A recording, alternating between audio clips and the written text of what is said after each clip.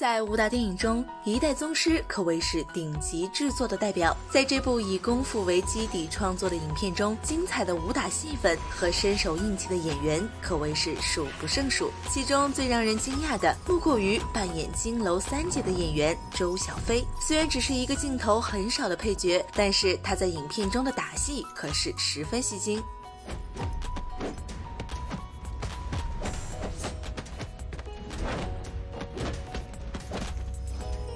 他是与李连杰齐名的国家五英级运动员，曾任解放军八一武术队的队长，这实战能力自然是妥妥的。更别说成为了一名实力派演员之后的他，竟然另辟蹊径，发展了五替五指的业务，甚至还披上了一层编剧的小马甲。那么，到底是什么样的契机成就了今天文武双全的周小飞呢？今天就让我们来了解一下这位活在现代的女侠吧。周小飞出生于普通家庭，而非武术世家。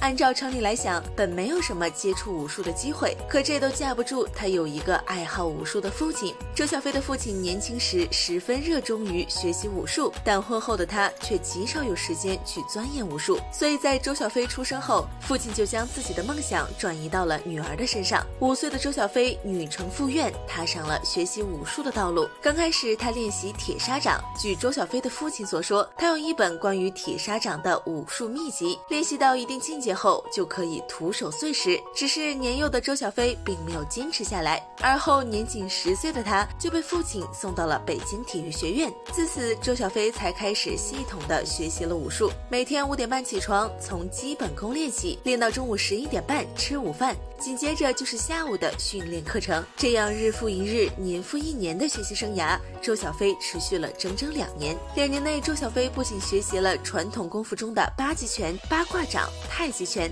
还掌握了剑、刀、枪、棍、长拳、短拳、套招等多种武术形式。正是这样常年艰苦练功积攒下来的深厚功底，让他在全国武术锦标赛上一举获得了冠军。后来更是被授予了国家五英级运动员的称号。这样坚持不懈的努力和赛场上的优秀表现，也让正在筹备新剧的陈勋奇一一眼看中。二零零二年，陈勋奇导演为给新剧选角，观看了全国武术锦标赛，他一眼便。看中了比赛的周小飞，邀请他参演自己执导的电视剧《群英会》，也就是从剧中的女二号哑巴小梅开始，周小飞开启了他的演艺事业。先入陈勋奇公司期间，周小飞前前后后出演了不少武打片，《功夫之王》中他饰演了跆拳道教练敦煌派传人秋菊，《杨门女将之军令如山》中他又饰演了一代女将杨排风。这两部片子让他在影视圈稍有名气。不过，真正让周小飞走进观众视野的，应该是播出后。票房就破了十亿的《叶问四》，对于电影剧情，观众的评价也许褒贬不一，但是对于其中的打斗戏，观众却是一致拍手称赞。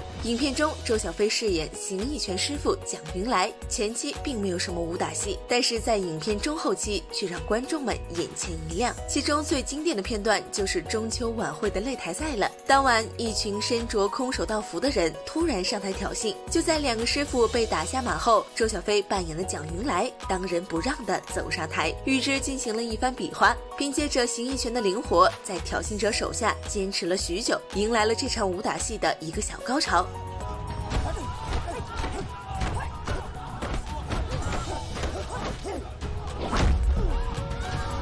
里的他武打动作衔接自然，没有大多数片子里为了呈现效果刻意快镜头剪辑的感觉，一招一式间仿佛带着水流似的气韵，可以称得上行云流水了。隔着大屏幕都能感受到他的功夫底蕴。如此有实力的周小飞，虽然不如甄子丹、李连杰那样出名，但在圈子里却是很受欢迎的，做得了演员，当得了武替。在王家卫执导的一代宗师中，周小飞在出演金楼三姐的同时，还给章子怡做了一回。武打替身，为了这来之不易的角色，周小飞跟剧组演员一样，进行了整整八个月的武术和动作训练。上午七点在八卦掌老师居住的小区训练，下午赶去北京东三环陪张震练习八极拳。其实我就训练了八个月，我上午练八卦掌嘛，下午那个王家卫导演就跟我讲：“小飞，你去陪练吧。”说好，我就每天下午陪着张震练八极拳。在那段时间，整个剧组都充斥着周小飞奔忙的身影。也正是他的不懈努力，让原本不会武术的章子怡在片中呈现出了更完美的角色形象。就拿影片后期章子怡雪中练武这一部分来讲，画面空灵，似武又似武。可没有人知道这一幕幕精彩镜头的背后，作为替身的周小飞付出了多少的汗水。为了满足王家卫导演的强迫症，周小飞一遍一遍地进行诠释。光是在地面上用腿将雪扫到空中的动作，就来来回回拍了不知道多少次，这才有了屏幕里呈现的画面效果。镜头里的周小飞是一名认真又有实力的演员，幕后他还将武替一职发展成了袁和平都认可的武术指导。刚刚入门就被袁八爷委以重任，给他指导的电影《张天志》做了武术副指导。